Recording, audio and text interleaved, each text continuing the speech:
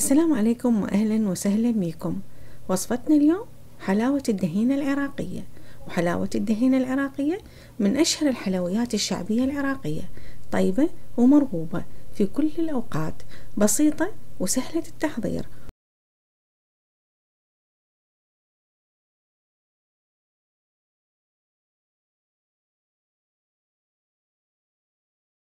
نبدأ بالمقادير والمكونات. ونحتاج بوصفتنا إلى كوبين ونص من الطحين الأبيض متعدد الاستعمال وكوبين ونص من السكر وكوبين من جوز الهند المبروش واللبغراش الخشن كوب من السمن النباتي أو الحيواني حسب المتوفر وكوبين من الحليب وكوب من الجوز أو عين الجمل وملعقتين أكل كبيرة من العسل أو الدبس. بوعاء كبير أنزل كوبين ونص من السكر وأضيف عليهم كوبين من الحليب وأخلطهم سوية خلط جيد إلى أن يذوب السكر تماما بالحليب.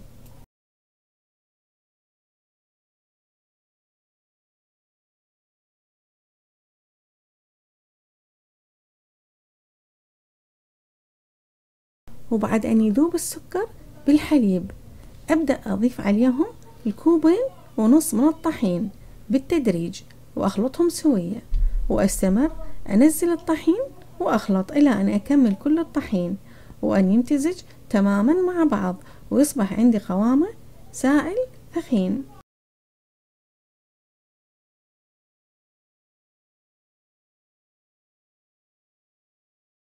وهذا هو شكله وقوامه سائل ثخين كريمي. وبعد أن يصبح بهذا الشكل سائل ثخين كريمي وهذا هو قوامه. راح أنزل عليه ملعقتين أكل كبيرة من العسل وممكن أن تضيفون ملعقتين أكل من الدبس التمر حسب الرغبة وحسب المتوفر وراح ينطي نفس النتيجة والطعم لكن العسل راح ينطي لون دهين أفتح لون أشقر جميل والدبس ينطي لون أغمق. وأخلطهم سوية خلط جيد. حتى تتجانس كل المواد مع بعضها وهذه هي عجينة حلاوة الدهين. أصبحت جاهزة للفرن. وهسه راح أجهز قالب الشوي بقالب الفرن راح أنزل نصف كوب من السمن النباتي أو الحيواني وممكن أن تستخدمون الدهن الحر. راح ينطي نكهة أطيب وأدهن القالب من الأسفل والجوانب. بشكل جيد حتى لا تلتصق العجينة بالقالب. وبعدين أدهن القالب أرش عليه كوبين من جوز الهند المبروش أو اللبغراش الخشن وأساويه بالقالب بشكل جيد وأخلي عليهم كوب من الجوز أو عين الجمل. وهذا طبعا أكيد شي اختياري ممكن الاستغناء عنه. وبهذه المرحلة راح أنزل عجينة حلاوة الدهين بالتساوي بالقالب. وبعد أن نزلت كل العجينة بالتساوي بالقالب. راح أدهن وجه العجينة بالدهن المتبقي عندي نصف كوب. حتى لا يتيبس وجه العجينة ويصبح طري. وممكن أن نستغني عن الدهن. ونضيف بدل الدهن مبروش جوز الهند الخشن. نرشه على وجه العجينة. وطبعا هذا راح ينطي نفس النتيجة وأكيد حسب الرغبة أو حسب ما تفضلون.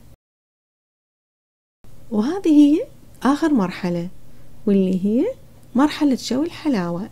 أخلي القالب بالفرن بالرف الأعلى وأفتح الحرارة فقط من الأسفل على درجة حرارة مية لمدة ساعتين مع المراقبة وهذا حسب حرارة أو نوع الطباخ أو الفرن.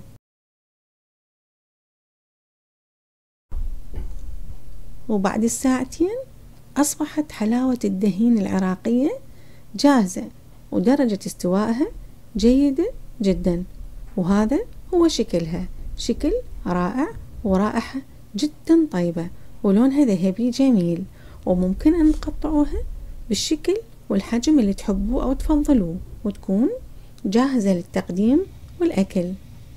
وطبعا أني قطعتها بهذا الشكل. علشان موادها متوفرة دائما. أتمنى أن تجربوها وتعجبكم وإذا عجبتكم اشتركوا بالقناة فعلوا الجرس ولا تنسوني من اللايك ومردودكم الحلوة وملاحظاتكم المفيدة. نلتقيكم إن شاء الله في وصفة جديدة وفيديو جديد.